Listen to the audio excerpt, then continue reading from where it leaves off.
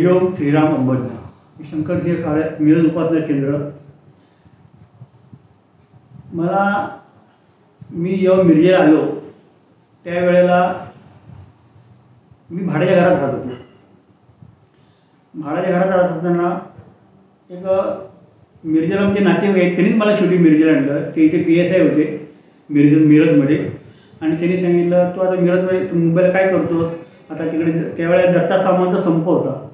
मिरज गिरणी कामगारांचा. आणि तो पाच वर्ष संप झाला आणि माझं दु दुकान नेमकं त्या लालबाग एरियामध्ये म्हणजे कामगार एरियामध्ये माझं दुकान असल्यामुळे मलाही त्याचा फटका बसला संपाचा. आणि मग ते दुकान व्यवस्थित चालल्याचं नंतर आमचे मग आमची मोठी बहीण आणि आमचे ते ते नातेवाईक आहेत त्यांनी मला इथे मिरजेला आणलं. मिरजेला आणलं त्यानंतर मी त्यांनी मला इथे एस टी डी चालू करून दिली. त्यावेळी S T D booth S T D होत्या नवीन नवीनच आली होती एस टी डी आणि त्याने आपलं काय ते प्र चालू करून दिली मला तिथली एस टी डी पण मी भाड्याच्या खोलीत राहत होतो. आणि मिरजे आमची मग मुंबईची प्रॉपर्टी मग मी ती विकली आणि ते त्याच प्रॉपर्टीत एक एक दुकान काळा पण घेतला होता. मग तो दुकान काळा मग मी ते घर घेतलं.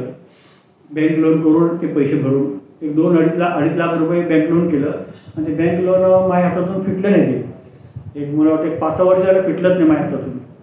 आणि मग फिटलं नसल्यामुळे म्हणजे बँकेने मला नोटिसा पाठवायला चालू केल्या. एक एक एक नोटीस पाठवल्या. आणि नोटिसा भरपूर पाठवल्या त्यांनी.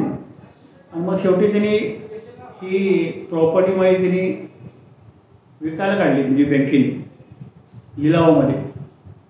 मग त्यावेळेला मला आधार देणार म्हणून आमचा एक मित्र तो सुहासिंह जाधव घाटकोपरला राहतात. त्याला मी हे सगळं सांगायचो नेहमी आणि तो मला अरे बापू करतील ते काहीतरी करतील काहीतरी. माझाही विश्वास आहे नक्की शंभर टक्के करतील. मग एक दिवस असा आला की तो घरी आला म्हणजे. घरी आला म्हणजे तो तो आणि मिसेसला घेऊन घरी आला आणि अनपेक्षित आला. त्याचं काही काम नव्हतं. सर मला तुझ्याकडे मुक्काम करणार आहे आणि उद्या जाणार आहे मी म्हटलं, काय हरकत नाही म्हटलं आणि जरा माझा मूड जरा खराब होता. अरे तुझा असं का जरा दिसतोस म्हणलं? तू जरा व्यवस्थित दिसत नाही फ्रेश दिसत नाही. मी बोललं काय नाही रे असं म्हणलं. काय आपलं जरा थोडी तब्येत बरी नाही म्हणून ठरवलं मग त्याने आमच्या आमच्या मिसेसनी त्याला सांगितलं असं आहे ते बँकेत असं झालं.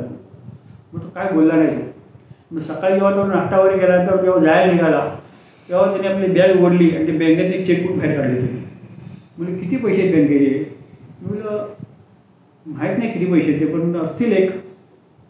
दीड दोन दोन अडीच लाख रुपये अजून शिल्लक आहेत. मी मध्ये मध्ये भरले होते पैसे पण असतील आता दोन अडीच लाख रुपये. मग त्यांनी मला कोरा चेक दिला सही करून. तुम्हाला आता बँकेमध्ये जा. बँकेमध्ये गेल्यानंतर ते ओ टी स्कीम आहे. वन टाईम सेटलमेंट साहेबाला भेट त्यांना म्हणून मी साहेब एका ह्याच्यामध्ये पैसे भरतो तुम्ही मला डिस्काउंट किती देणार. मग साहेबांनी जरा सेटलमेंट करून मला काहीतरी दीड लाख रुपये भरायला सांगितले वन टाईम सेटलमेंट मग तो दीड लाखचा चेक दिला. तो चेक पास पण झाला. आणि माझी सगळी बँकेची म्हणजे जी बँकेने जी नोटीस काढली होती ती पण तिने मागे घेतली. मग मी विचार केला हे कसं शक्य झालं? कारण तो कधीही येताना चेकबुक बिल काही घेऊन घेऊन येत नाही कधीच घेऊन येत नाही. येताना भेटायला येतो भेटतो जातो. एक एखाद दुसऱ्या दिवस राहतून जातो तो. पण त्या त्या बुद्धी सु त्याला त्या डोक्यात घालणं त्याच्याकडे चेकबुक असणं हे हे काहीतरी म्हणजे म्हणजे हे कुणी कौन करणार? तो माझा बापूच करणार. श्रीराम मोहम्मद